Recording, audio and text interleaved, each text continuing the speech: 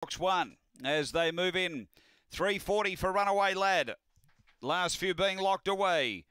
And we're right. Green light on. Set to go. Final leg of the quadrella. And a hot, hot favourite, box one, Almighty Stripe. We're ready.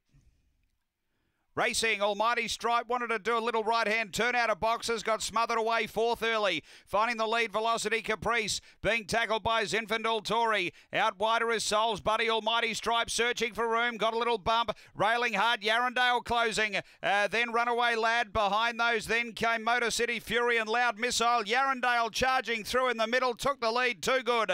Beats Zinfandel Tory, Souls Buddy, Runaway Lad. Behind those came Almighty Stripe, then Motor City Fury. Uh, Velocity Caprice and Loud Missile. The time here is around 22 and 30.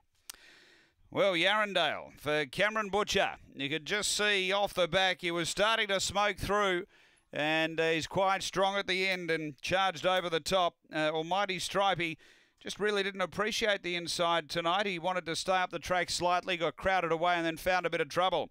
Uh, but number three, Yarrandale first. Uh, second, going to seven, Zinfandel Tory for Dave Peckham. And third to eight, Souls Buddy, Tony Rasmussen.